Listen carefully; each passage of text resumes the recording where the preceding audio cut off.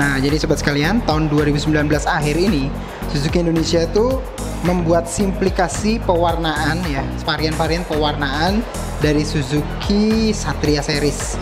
Jadi mereka tuh menghadirkan hanya ya spesial ya yang versi spesial dan versi yang Predator Predator series.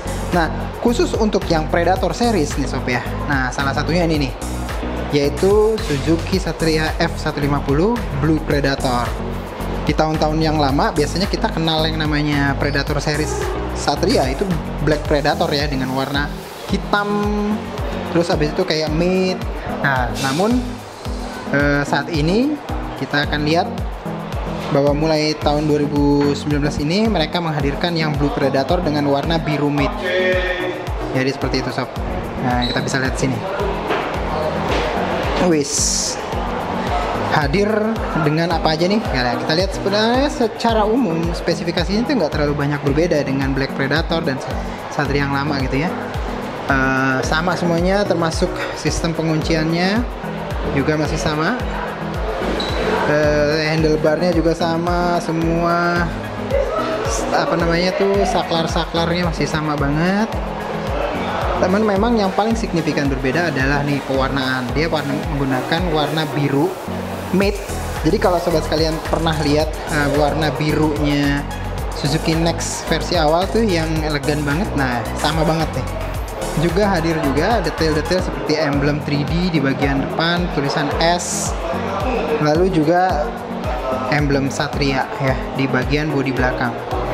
Nah ini adalah paparan daerah sebelah kirinya sob. Nah, kayak apa aja yang biru mulai dari firing samping lalu hadir ke bawah ya ada garis dan juga bodi belakang.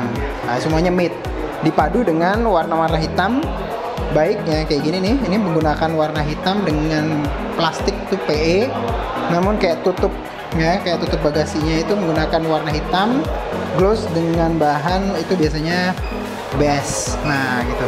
Coknya juga masih sama seperti ini termasuk juga grip belakangnya. Tidak ada update apa pun di lampu belakang. Ini masih sama. Sama semuanya. Rear fender atau ban belakang apa namanya? Spakbor belakang dan juga ban belakangnya juga masih sama banget sob. Nggak terlalu banyak berbeda. Ya jadi seperti itu. Semua semuanya tuh menggunakan detailing warna hitam ya warna hitam pekat uh, matte gitu termasuk juga gear change gitu ya pengganti gear velg depan belakang juga masih sama. Juga detail dari apa namanya suspensi. Nah ini adalah bagian paparan sebelah kanannya sob.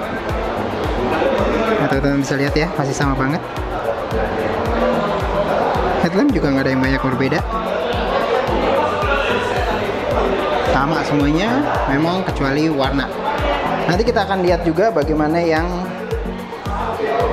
warna yang satu lagi yang special edition warna putih biru. Nah jadi itu aja.